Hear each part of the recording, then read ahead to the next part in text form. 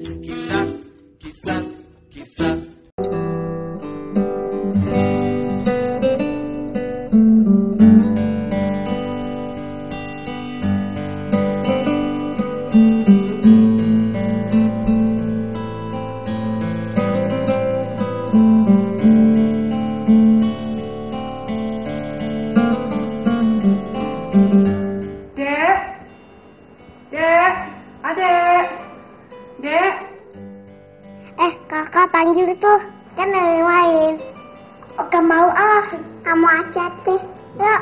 Ini kamu aja deh. Kita ada ya. Kavina kasihan ya. Emang Kavina kenapa? Emang nggak bisa lihat. Kita jangan nakal kayak dia ya. Ya, yuk kita ada ya.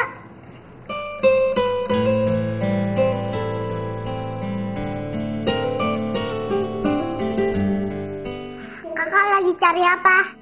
Dek, kamu lihat tas kakak yang biasa kakak pakai nggak, dek? Kayaknya ditaruh di sini deh tadi ya. Kamu lihat nggak sayang?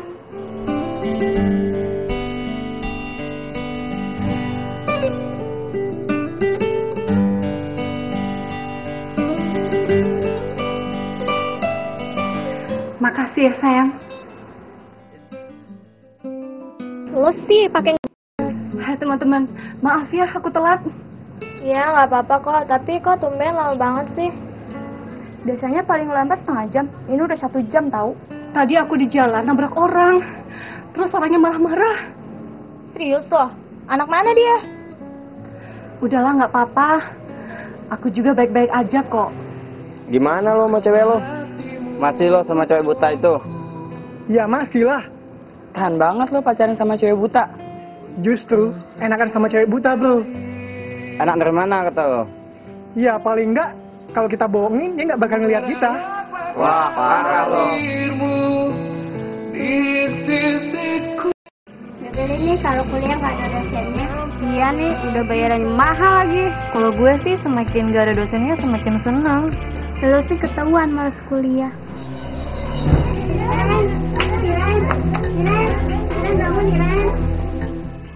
Bro, lo masih ingin nggak cewek yang kemarin lewat sini?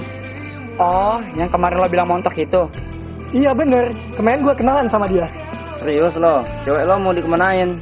Wah, bener-bener tega lo. Tenang aja, dia nggak bakalan tahu kok. Dia kan buta.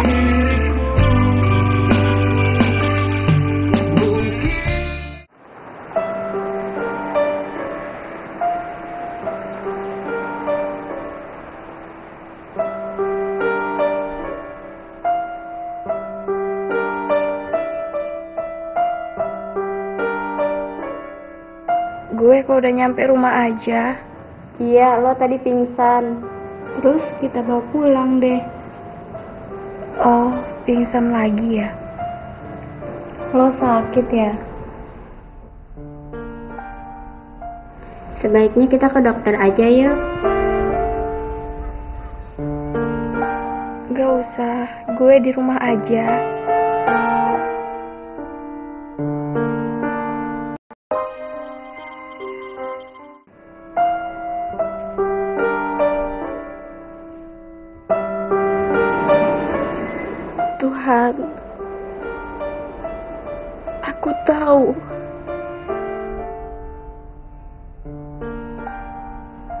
Betapa tak indahnya diriku ketika aku menghadapmu.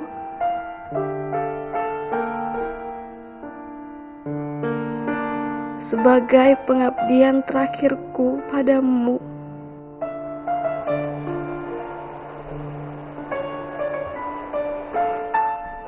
Izinkanlah aku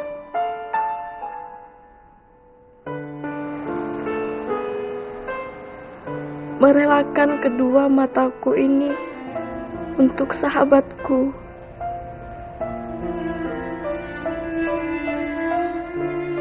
Vina.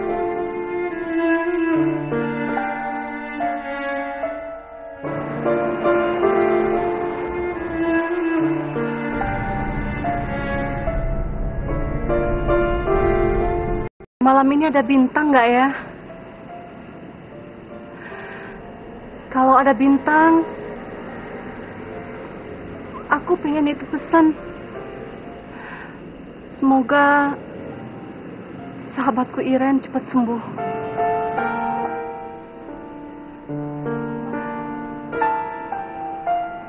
Vin,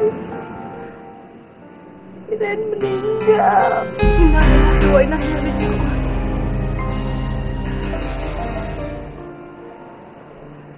Dia menitipkan surat ini untuk kamu.